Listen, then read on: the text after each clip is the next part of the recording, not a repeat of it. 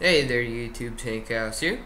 Uh, today I'm going to show you how to download Fraps version 3.4.7. Uh, let me just make sure. Yeah, 3.4.7. So I know this isn't the newest version, but it has Aero desktop support, which means you can record your desktop like I'm doing now. And it also records Minecraft and Steam games and other games like that.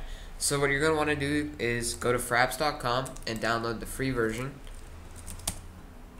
So you just go to fraps.com, download section, and click right here. Even though it's a different version, you just need to download it and install it. I'm not going to do it because I already have it installed, but all you have to do, is click this, it'll start downloading right here.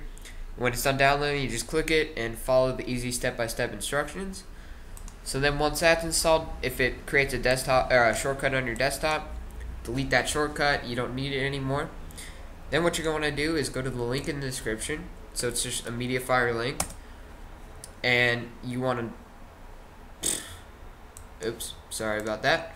Um, used the wrong link. So it's this link right here. I'll put that in the description of this video.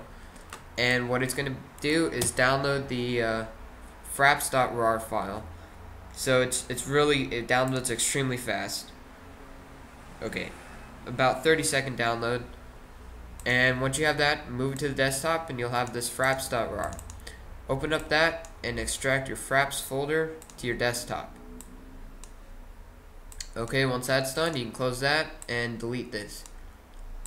Then open up fraps and run everything from this folder. So you just, yeah, pretty much all you gotta do is just run the program from in this folder and you'll have all your all your stuff you can move wherever you want to save your your videos, photos, whatever.